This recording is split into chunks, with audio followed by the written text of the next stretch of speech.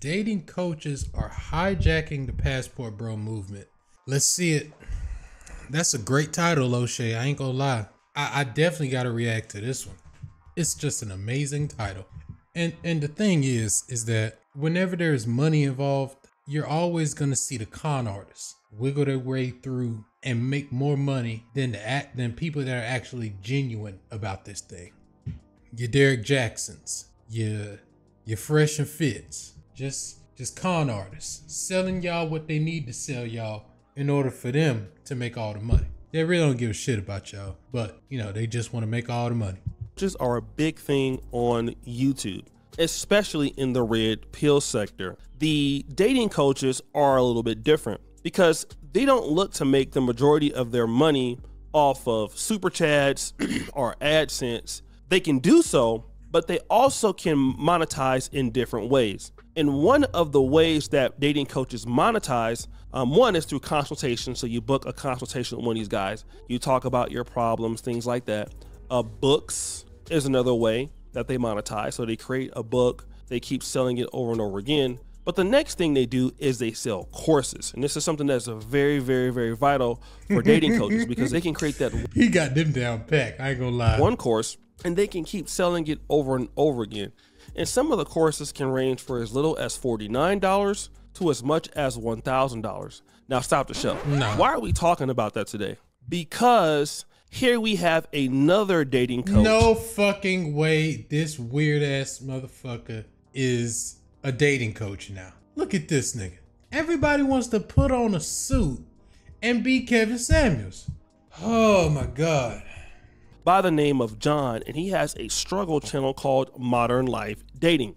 Now, Modern Life Dating is, in my honest opinion, a guy who's a complete no talent. And he's a guy that has had a lot of problems before. And if you He was exposed by Aba and Preach as well because he is very insecure. Very insecure. don't believe me, here's a That girl on the left look good. clip of Auburn Preach. Oh, here uh, it is. Pretty much discussing the fact that this guy brags about hitting women. After the last video, I just got people sending me everything. What did you say?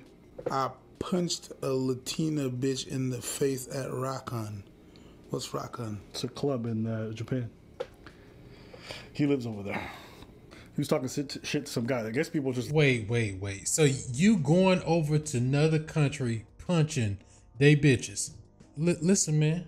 If you want to leave in a body bag, keep doing what you're doing. You you might want to stop. leaking the group chats. He was talking shit to some guy, and the guy said to him, "Well, at least I've never been arrested for glassing a bitch." And he's like, "Yo, why are you so sensitive? You, you are you gonna leave next?" So that's the, the MLD saying, like, "Why are you so sensitive? Why are you bringing that up?" And the guy says, "I'm not sensitive, just giving back some." And then MLD says, "You act like that's the last bitch I'll smite on this planet." Wow. Well, do you think you have healthy habits? Yeah. I think it's very bizarre that someone accuses or says that you bottled a woman in the face, and your response is, that didn't happen. Your response is, are you being sensitive right now? Why are you bringing this up? Then it makes me really think you did do that shit. Also, how would you kill this for being so disgusting? So allegedly, this is who this guy is, all right? And that's very important. But let's kind of go to another guy here, Donovan Sharpe. We all know Donovan Sharpe. We've all heard of him. He's a guy who, in the past, was against the Passport Bros. And a lot of dating coaches are. In fact, here's a clip from one of the He's the guy that wishes he was white. That that's him. Cornball tells y'all to not date women with kids when he's dating a woman with a kid. Girls over 23 are leftovers. That's what he said, not me.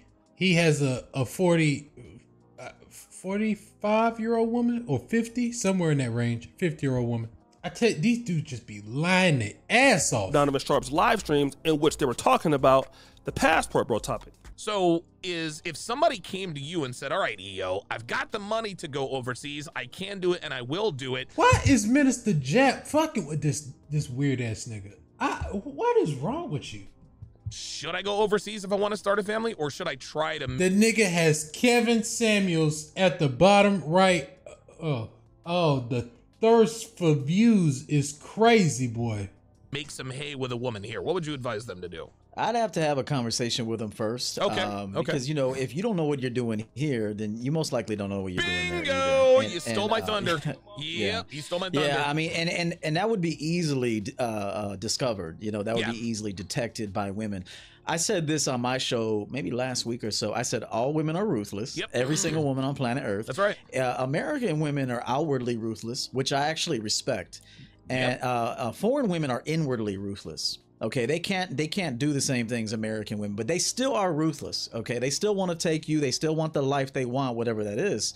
And so just remember, all women, at least in my opinion, and I have a lot of experience, they're all ruthless. Even my mother, everyone's mother on here. I don't want to speak for everybody's mother, but everybody's mother is ruthless. Okay, and so, but when I think about it for myself, if you don't mind for a second, yeah, go ahead. You got to it. think about the preparation involved to actually oh, fly like to Brazil or some shit. Yeah, yeah. I wouldn't even get an erection, bro. Like if I had to get on a plane, get a passport, You're a dumbass. You look at them bitches over there. Boy, I haven't been over there. I've looked at videos of them people over there. Whew.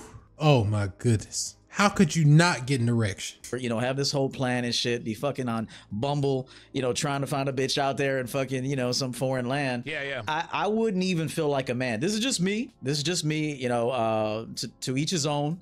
Uh, I, if somebody tells me he likes to do that, I'm, I'm not going to frown upon it. That's that's how you get down, and just be careful. Um, but for me, Facts. when, American women are giving away the pussy. Yep. You know, American women are giving it away. It's too easy to get. Yep. Um, and and I'll say this: that would that's very limiting to just just to think that okay, I'm gonna go overseas and get a woman. Just like us, I do worldwide coaching. You know, I- what if I Oh. only How is that limiting? You're you're broadening broadening your horizon. coach guys here domestically? And I said, nah, I can't coach you. You're in Russia. Nah, I can't coach you. You know, you're in China. I, I coach men in Germany, all, all over the world. Wow, Um, okay. And, and I and, and I enjoy that. But uh, to me, I feel like if you're a mark here, you're a mark there. Boom. uh, and they're gonna pick it up faster actually because they their uh, their whole their whole game is about survival over Yep. there. Yep. Here in America, women you know women can have fun. Uh, I, I- you know like they can have fun fucking with you. Yeah, right. Over there overseas, I think they really take it serious of how they're gonna fuck with you. That's right. They, it's like it's methodical how they fuck with Yep. you. Here they just fuck with you. Okay. so that makes sense. EO, before listen, before I go to Duran, EO, you dude, I low key agree with the the mark shit. If you are a mark over here, you're gonna be a mark over. This is why I, I bro, I've been saying, yo, you gotta pick up on game before you go over there. Cause a game over here is that women will text you to death. Oh, you're a text buddy. Oh, you're a lunch buddy. Oh, she just playing with you. I think we all got the game over here. The game over there might be totally different. So you need to pick up on game on what they doing over there before game get ran on you. And it might be too late. That- That might be a life or death game over there. Who knows? I had people in the comments section argue with me. Oh, you don't need no game when you over there. Nigga, yes, you do. You don't just go over there like willy nilly. It's like walking down the street and you don't, in the pitch black and you don't know where you at. Like walking down the alley and expecting everything to be okay. Like, oh, oh, this ain't America. In America, you get robbed. Over here, you know, they don't allow guns over here, so everything should be good. Like, no, they might not rob you with a gun, but they probably got something else for you. Figure out what where to go. Figure out what games these girls are playing overseas. Figure out what activities they got over there. Figure out what uh life after dark is like over there. my sentiments exactly. The dudes that see here's the thing. The only men that the only men who could benefit from getting their passport and going overseas and finding a wife or someone to settle down with are men well, not only not just that, but it's it's men who already understand how to handle American women. If you can't get laid in America, you're not going to get laid in Brazil. If you can't get laid in America, you're not going to get laid in Southeast Asia. So, for the most part, these guys are against passport bros in the past, historically, right? In the past passport bro movement, for the most part, is against dating coaches. I have two clips that I want to play that prove that thought. Here is Ronan the Traveler talking about it here. Uh, me and a guy on the plane was talking about this whole passport bros versus dating coaches. Let me save you some money, young guy. any young guy that's listening, dating coach, I'm gonna tell you what you need to do. You don't need a dating coach. All you really need is this. This is the power like He-Man. That's that, and and that's such bad advice. That is such bad advice. So you have the power. All you need to do is get your passport. Um, the, the whole gang thing and all that is a way to get your resources, and you need your. You could be putting your resources to better use. Dog, get see, and and that's what I'm saying about these con artists that came in the game. Game was supposed to be female nature, right? Am, am I wrong about that, or am I right? And now it came into talking to, trying to get her to take her drawers off and oh, I gotta act like this and do it like this. I thought it was female nature. M- maybe I'm wrong about that. I don't know. These bitter women over here who don't appreciate you, you need to get that passport and travel to anywhere you want to go. The world is, is yours. You're in the um, top 1% of the world. We live in a global economy. Everything's global. So why should um, you date on the plantation where you can go out? And that's the problem. People didn't have a problem till we started uh, weighing our options. And and uh, I remember the first guy I saw was uh, Charles, I think Charles Tyler. Um, and he was going to Brazil. Then I watched The Frustrated. And it took me years to actually get off the plantation, but I finally got off there. So I'm telling you, start now, work on things you need to work on. Here is. Did you hear that? He cut it off. Uh, O'Shea cut it off, but that was important right there. You starting now, work on things you need to work on. Work on things you need to work on. You cannot be broke going overseas. Here is Andre Brooks talking about why passport brothers don't need dating coaches. Look at the women that dating coaches might want you to throw game at. Judge for it. I don't like cleaning. Nah, I don't like it. Look at these hoes, but got her job terminated as a result. Story time? I think that's that's that that's that therapist that's crazy. think yes. Shit you not, I posted a video. Why do we still need dating coaches? Brothers, we have our passports and we can go to countries where the women are fit, beautiful, and feminine. How much game do you think you will need to talk to a woman in Thailand, brother? The bare minimum. Stop spending your money on dating coaches. Use that money to go overseas. But let's go back to modern life dating. Let's go to his YouTube channel. What do we see on the banner? Now, this is very interesting because modern life dating has a lot of subscribers, but he doesn't have a lot of views. His audience is not really there. So he's not really a good YouTuber, all right? But look at his particular situation. There's him, there's some white guy, and it's called Passport Show. Live streams every day, 9 a.m. Found out more here, passportbro.net. Stop the show.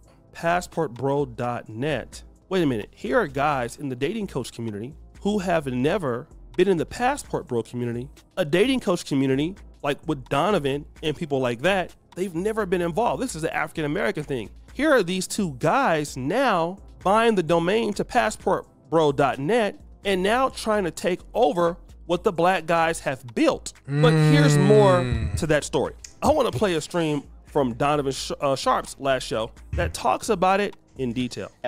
and, to link up with David Bond, who has just traveled the world. And we're all three of us of the same mind in the sense that, like, we don't want to deal with low class, trashy 304 type women. We just don't deal with it. We know the problems that it comes with. And we're past that part of our life where we would just, you know, go and date anything. Sure. And we're showing guys how to do this the right way, Okay. the safe way, and to meet quality good women across the world. Good, good. And a lot of guys, the mistake that they make when they go overseas is they they fuck around and they think that they're just going to get they're just going to be girls throwing themselves at them just because they're American and they have an American passport. You know what? Wow. I think he's right. It takes a lot. Listen, if if you can't get girls here in America, you're not going to be able to get girls overseas. Now, the key difference is is that you have more of a chance to get girls overseas provided you do the right things which is what you guys are going to talk about. But i want people to understand that yeah this i mean the this this particular this particular how can i put this? This particular course or this line of thinking um, it's already it's it's it's already too late for american women and that's why we're doing this today. Yeah, absolutely.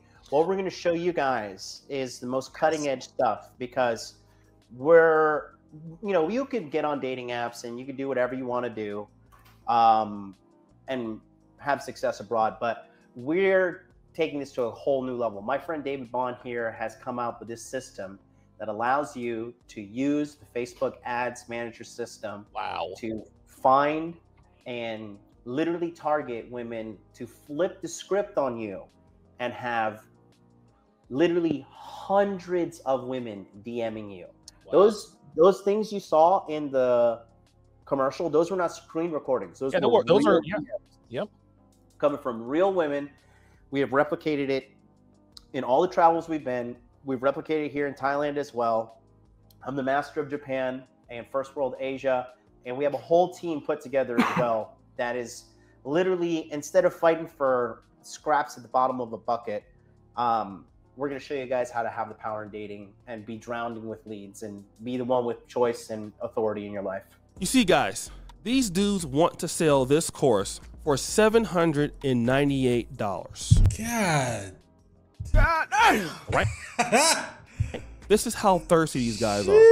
And now these dating coaches have come into this particular space. I will call it The con artists have come into the passport space. Man. the space of the uh, passport bro community, which was started by black men who are consistently against passport bros. And these guys are trying to monetize a movement that was against passport bros. The whole purpose of passport bros was to get away from the dating. Now, these other guys out here who are losers can't get their own stuff started. So now they're trying to grift off the passport bros and try to sell courses and to infuse the dating coach community into the passport bro community, which is just totally, in my opinion, messed up. Like, how do you do that? Pass, you guys were never even a part of that. But these guys, him and David Bond, you guys are so thirsty and so untalented.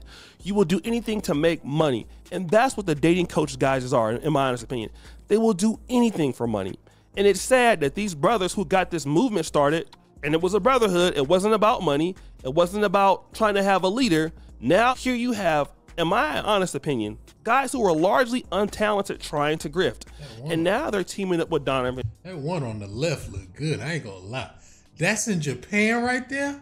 Woo! I ain't gonna hold you. guys who were largely untalented trying to grift. And now they're teaming up with Donovan Sharpe trying to sell overpriced courses that don't work. And so, guys, this is where we're at. I mean, dating coaches were so unsuccessful with their own message. They're trying to get in on the community they were hating on. These were the same guys saying passport bros were broke, passport bros were dusty. Now they're trying to sell courses to That is so interesting. That's a good video right there, O'Shea. What do y'all think about that? The dating coaches are gonna be going to the passport bro uh community so that they can suck the life out of that too. There's gonna be a lot of y'all that go overseas and just fuck up the experience and just just fuck it up for everybody. I'm gonna catch y'all in the next video, man. Peace.